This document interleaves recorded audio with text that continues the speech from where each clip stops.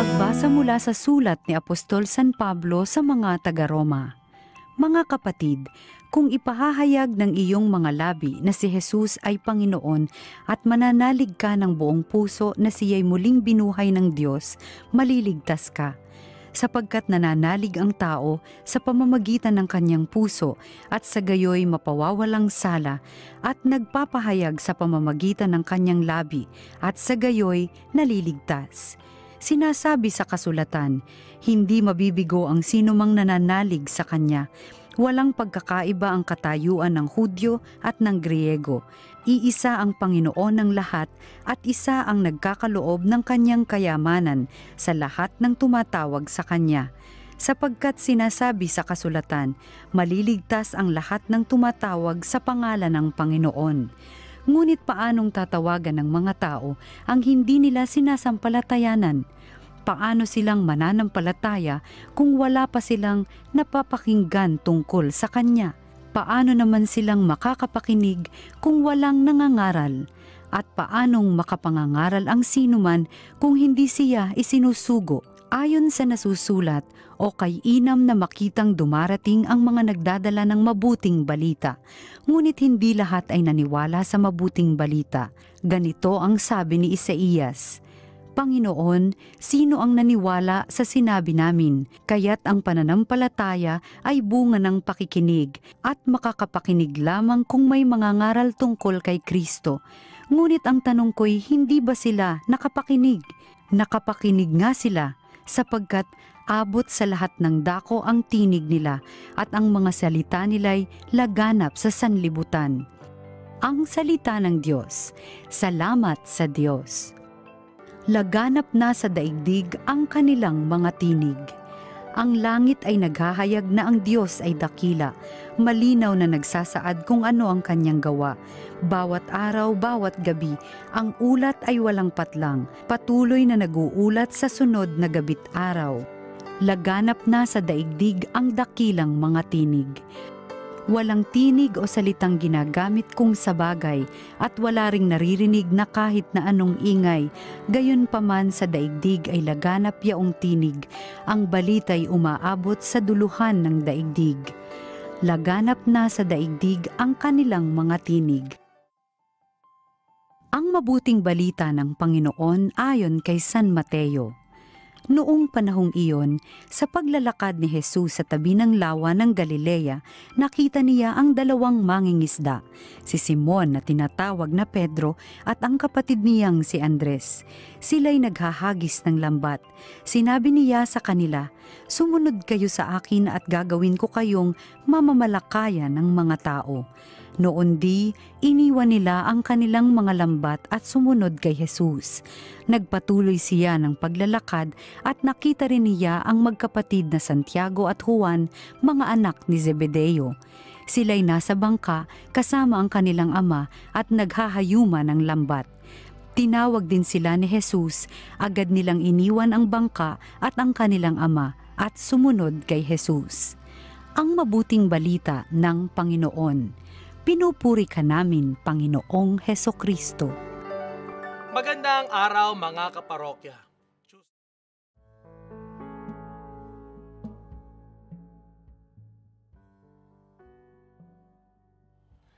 Magandang araw po sa inyong lahat. Ngayon po ay Merkules na naman at narito tayo sa ating programa Salita ng Diyos, Salita ng Buhay. Alam niyo ba na pwede tayong alipinin o kaya'y mapalaya ng salita? Mari tayong makinig sa kasinungalingan at mantong sa kalituhan o kaya piliin nating makinig sa salita ng Diyos na tinatagpo tayo upang iligtas, upang palayain. Ang mga maikling kaalaman natin mula sa Ebanghelyo ni Juan at Mateo tungkol kay Andres dahil ngayon ay kanyang kapistahan na naging apostol at sa tulong din ng ating unang pagbasa sa sulat ni San Pablo ay sapat upang makilala natin ang pagka, kanyang pagkatao.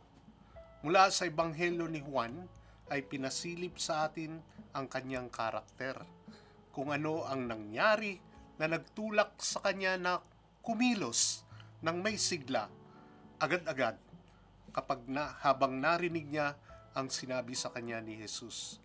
Tinuturing ko si Andres na tao talaga ng mapagbigay, is very generous, na handa magbahagi ng kung ano ang kanyang tinanggap mula sa iba at binibigay niya ito sa kanyang kapwa. Katunayan ay nang ipakilala niya si Andres kay Jesus, etong si Juan Bautista, kagad hinanap niya ang kanyang kapatid na si Pedro at pinakilala kay Jesus. Ang pagkakakilala niya kay Jesus ay isang pagpapala na hindi niya pwedeng itago lang sa kanyang sarili. Kailangan niya ito ibahagi sa iba, sa kanyang kapatid, kay Pedro. Sa Ebanghelyo ni Mateo, nakita natin ang kanyang mahigpit at mabilis na pagpapasya. Wala nang marami pang tanong.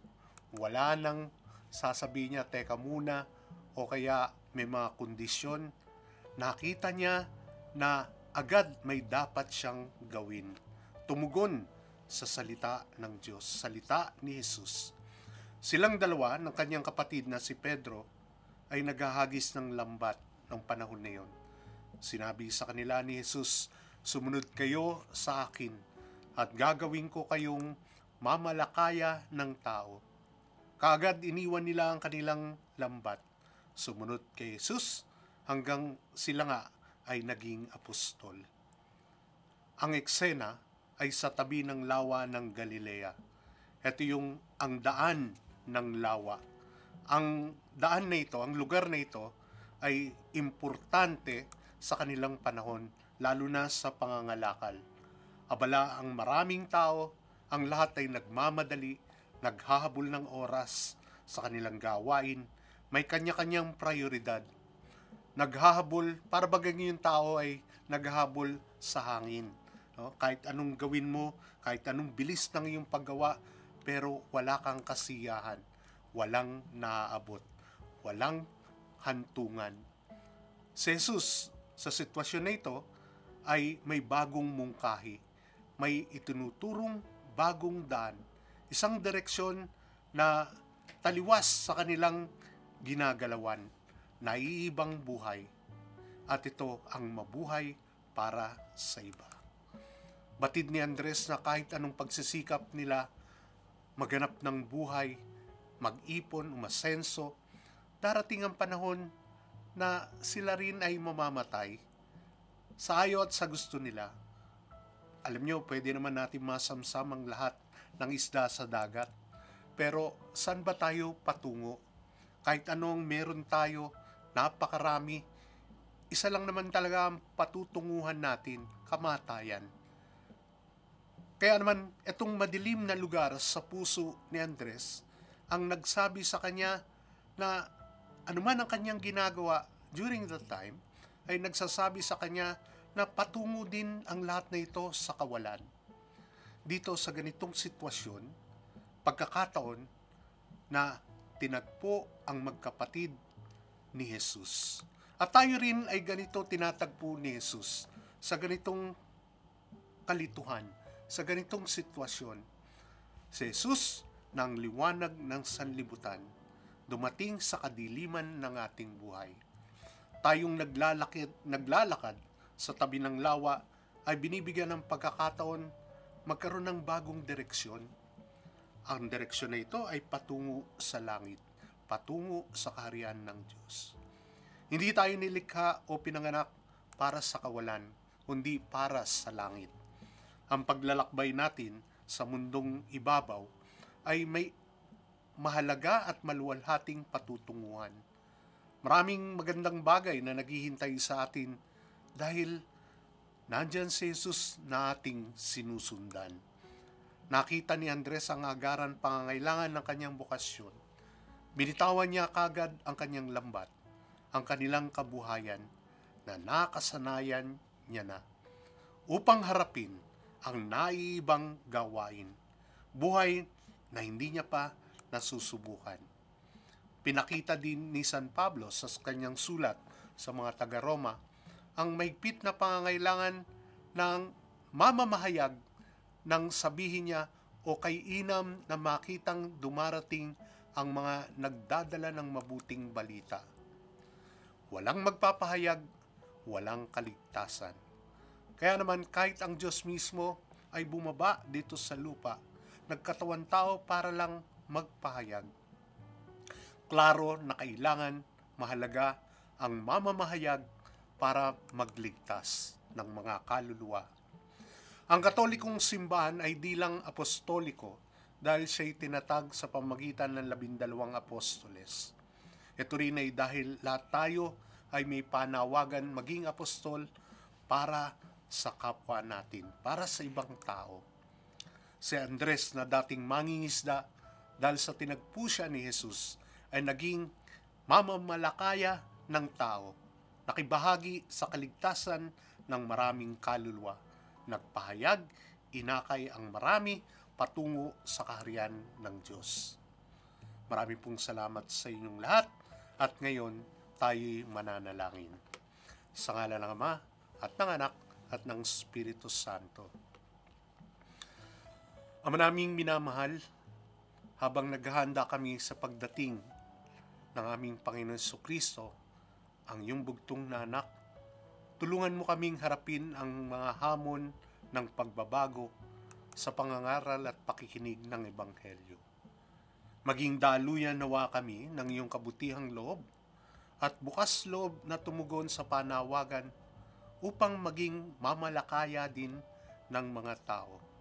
At ang lahat na ito iniling namin sa ngalan ng anak na si Kristong aming Panginoon. Sa ngalan ng Ama at ng Anak at ng Espiritu Santo. Mga kapatid, sa buwan na ito ng Nobyembre, alalahanin natin ang mga kapatid natin, mga mahal sa buhay, mga malapit sa atin na yumao at panalangin natin sila sa ating Panginoon na manlilika. Sa ngalan ng Ama at ng Anak at ng Espiritu Santo. Maraming salamat, Panginoon, sa regalo ng buhay, ganun din sa pakikipagkaibigan, kaugnayan namin, mga relasyon namin sa mga mahal namin sa buhay. Nagpapasalamat kami at uh, naging bahagi kami ng buhay pananampalataya nila.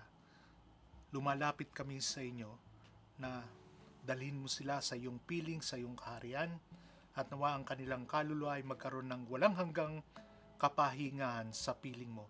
At ang lahat na ito iniling namin sa ngalan ng anak na si Kristong aming Panginoon. Sa ngalan ng Ama at ng Anak at ng Espiritu Santo.